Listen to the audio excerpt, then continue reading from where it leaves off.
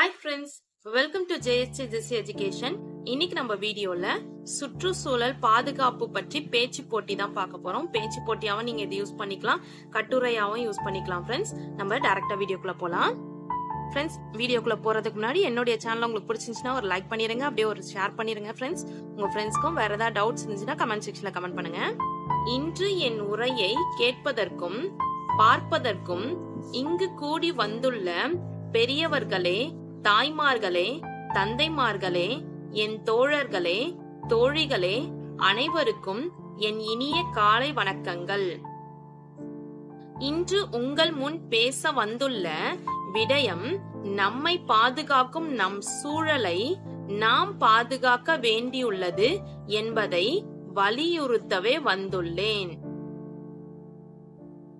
சுற்றுச்சூழல் பாதுகாப்பு. சுற்றுச்சூழல் பாதுகாப்பு என்பது நமக்காக நம்மை பாதுகாக்கும் சூழலை நாம் அனைவரும் ஒன்று சேர்ந்து சுத்தமாகவும் தூய்மையாகவும் வைத்திருப்பது ஆகும். அதாவது பஞ்சபூதம் என்று சொல்லப்படும் நிலம் நீர் காற்று ஆகாயம்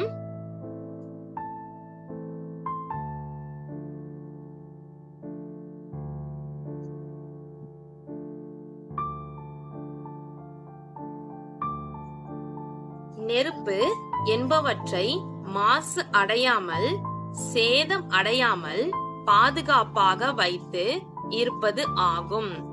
நம் மனிதனின் நம் மனிதனின் பரிணாம வளர்ச்சிக்கு ஆணிவேராக இருந்தவை சூழல் ஆகும். காடுகள் மலைகள் அருவிகள் நீர்வீழ்ச்சிகள் போன்றவை நம் சூழல்களில் அடங்குகின்றன.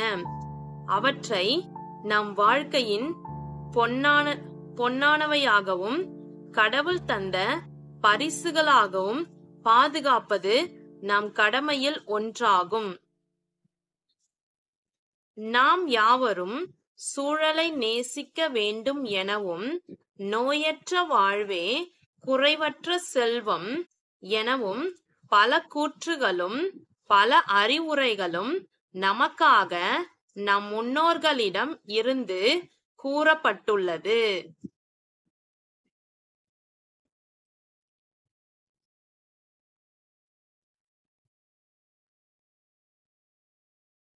சுற்றுச்சூழல் தினம். சுற்றுச்சூழல் பாதுகாப்பு தொடர்பாக ஜூன் ஐந்தாம் தேதி அன்று ஐக்கிய நாடுகள் சபையால் உலக சுற்றுச்சூழல் தினம் இடம்பெறுகின்றது இதனை அனைத்து நாடுகளும் ஒவ்வொரு முறைகளில் கொண்டாடுவார்கள். முக்கியமாக சூழல் பாதுகாப்பு தொடர்பில் பாடசாலை மாணவர்களையே அதிக ஈடுபாட்டுடன் செய்வதற்கு தூண்டப்படுகின்ற தூண்டப்படுகின்றனர். இதன் காரணம் சூழல் தொடர்பில் எதிர்கால சந்ததியினர் சந்ததியினரிடம் ஒரு விழிப்புணர்வை ஏற்படுத்துவதற்கும் அவர்களின் நாட்டம் சமூகத்தின் முன்னேற்றமாக இருப்பதற்கும் ஆகும். அத்துடன் பாடசாலை மாணவர்களால் சூழல் தொடர்பான தெரு நிகழ்ச்சிகளும் சமூகத்திற்கு கொண்டு செல்கின்றார்கள்.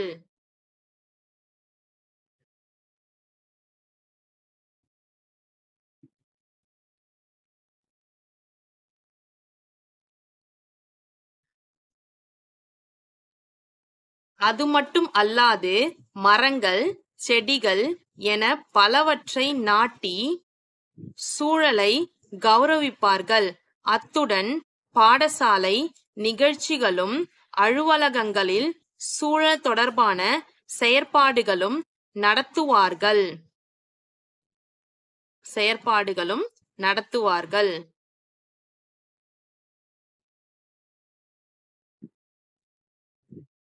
இவ்வாறு பல செயற்பாடுகளை உலக நாடுகள் எங்கும் நடத்தப்படுகின்றது.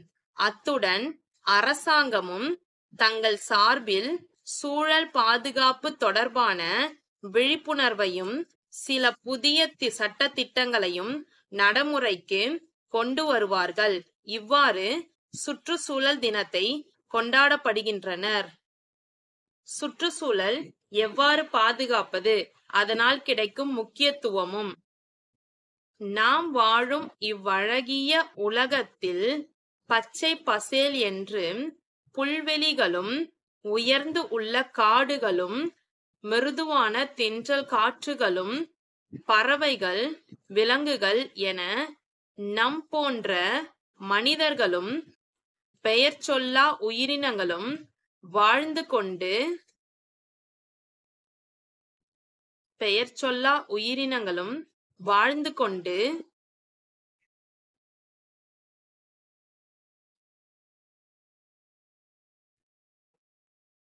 தான் உள்ளன. சற்று நினைத்து பாருங்கள். நம் வாழ்க்கையே ஓர் அற்புதம்தான். அவற்றில் நமக்கு இறைவன் தந்த இயற்கையும் எண்ணிலடங்காத அதிசயம்தான். அத்தகைய அதிசயத்தை பாதுகாப்பது நம் கடமை என்பதை ஒவ்வொரு நாட்டின் குடிமக்களும் உணர வேண்டும்.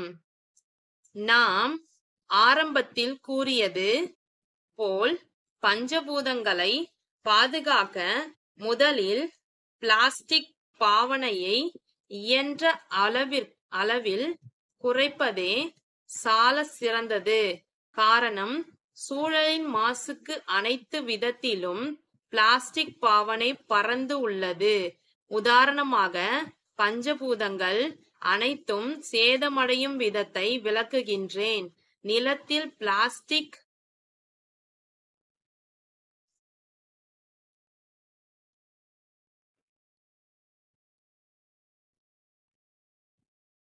பொருட்களை புதைப்பதால் காலங்கள் படிப்படியாக மாறும் பொழுது நிலத்திற்கு அடியில் புதைந்து காணப்படும்.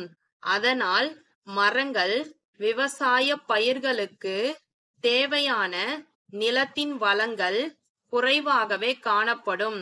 இதனால் விவசாயம் மட்டுமல்லாது உலகத்தின் செழிப்பு தன்மையும் குன்றும். நீர்.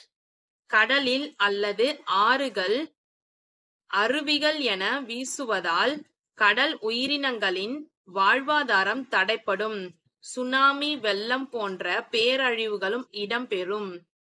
காற்று பிளாஸ்டிக் பொருட்களை எரிப்பதால் எரிப்பதா எரிப்பதனால் சூழல் மாசடைந்து சுவாசிப்பதற்கு சுத்தமான காற்று கிடைக்க சிரமத்திற்குள்ளாவோம்.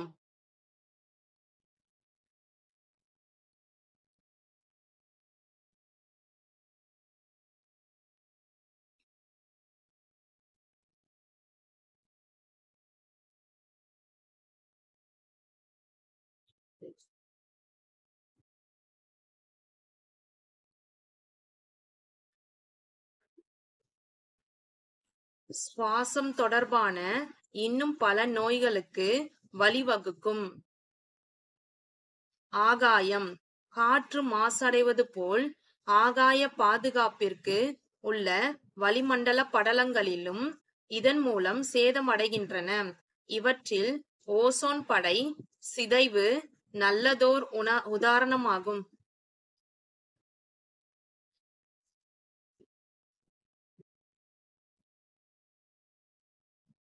நெருப்பு.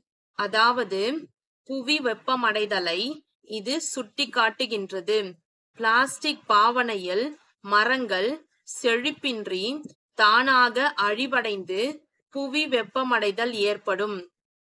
இதனால் எரிமலை வெடிப்பு காடுகள் எரிதல் உயிரினங்கள் அழிவடைதல் என பல பிரச்சனைகள் ஏற்படுகின்றது.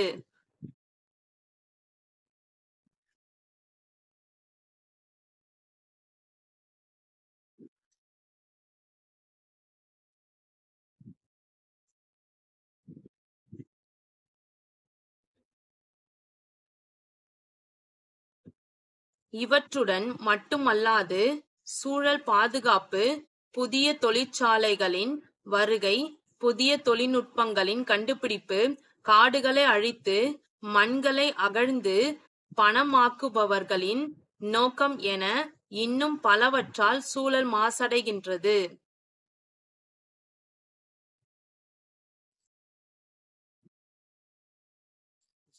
எனவே இவற்றில் இருந்து சூழலை பாதுகாக்க உலக நாடுகள் சார்பாகவும் பல சட்டங்களை நடைமுறைப்படுத்தப்படுகின்றது. பல சட்டங்கள் நடைமுறைப்படுத்தப்படுகின்றது. அத்துடன் நாமும் நம் தரப்பில் இருந்து வீட்டு தோட்டம் அமைத்தல் நிழல் தரும் மரங்களை நடுதல் கூடிய அளவில் பிளாஸ்டிக் பாவனையை குறைத்தல் என நம் கைகளிலும் சில கண் கடமைகளை சரிவர செயல்படுவதற் செயல்படுத்துவதன் மூலம் நம் சுற்றுச்சூழலை பாதுகாக்க முடியும். மரங்கள் வளர்ப்போம் நாளை உலகை காப்போம் என கூறி என் உரையை கேட்ட அனைவருக்கும் நன்றி வணக்கம் கூறி விடைபெறுகிறேன். நன்றி வணக்கம். ஃப்ரெண்ட்ஸ் இந்த வீடியோ உங்களுக்கு பிடிச்சிருந்துச்சுன்னா லைக் பண்ணுங்க உங்க ஃப்ரெண்ட்ஸ்க்கும் ஷேர் பண்ணுங்க. வேற ஏதாவது டவுட்ஸ்னா கமெண்ட் செக்ஷன்ல கமெண்ட் பண்ணுங்க. என்னுடைய சேனலை சப்ஸ்கிரைப் பண்ணி பக்கத்தில் இருக்க ஆல் பட்டன் பிரஸ் பண்ணிக்கோங்க. என்னுடைய இன்னொரு channel JST JSC spoken English channel அதில் ஸ்போக்கன் இங்கிலீஷ் ரிலேட்டடான வீடியோஸ்லாம் போஸ்ட் பண்ணிட்டு இருக்கேன் ஃப்ரெண்ட்ஸ் டிஸ்கிரிப்ஷனில் லிங்க் இருக்கு. மறக்காம விசிட் பண்ணி சப்ஸ்கிரைப் பண்ணிக்கோங்க. என்னுடைய இன்னொரு channel JST JSC English grammar channel அதில் கிராமர் ரிலேட்டடான வீடியோஸ்லாம் போஸ்ட் பண்ணிட்டு இருக்கேன் டிஸ்கிரிப்ஷனில் லிங்க் இருக்கு. மறக்காம விசிட் பண்ணி சப்ஸ்கிரைப் பண்ணிக்கோங்க ஃப்ரெண்ட்ஸ் தேங்க்ஸ் ஃபார் வாட்சிங் வி வில் மீட் இந்த next video bye see you take care God bless you